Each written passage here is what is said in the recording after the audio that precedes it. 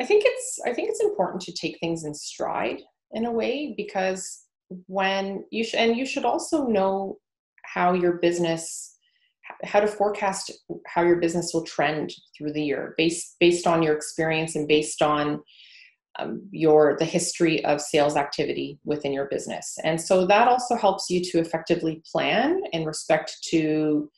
finances and respect to uh, additional means of marketing and so forth to to attract new clients or, or new business.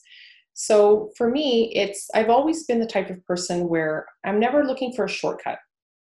There are people who just look look to complete something as quickly as possible and and they're happy with that. And i find those are the people in times of crisis that are really stuck.